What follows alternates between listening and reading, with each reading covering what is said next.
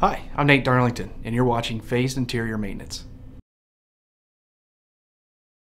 Phased Interior Maintenance is a tool designed to assist operators with the planning and budgeting for aircraft interior maintenance. The objective is to aid operators with the upkeep of the aircraft interior's functionality and aesthetic appearance.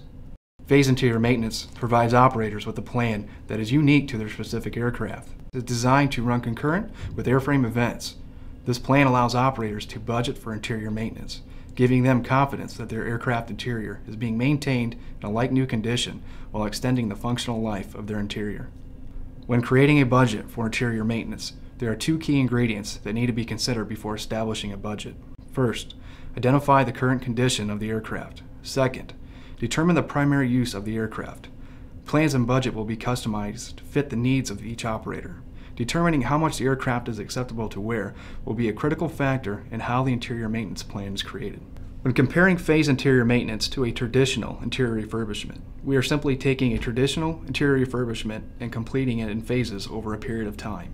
By completing an interior in phases, operators can offset as much as 80% of the one-time cost of a traditional interior refurbishment. Phase interior maintenance is an opportunity for an operator to receive an interior maintenance plan that is tailored to meet their specific needs. This plan will allow operators to efficiently budget and execute a plan that prolongs the life of their interior.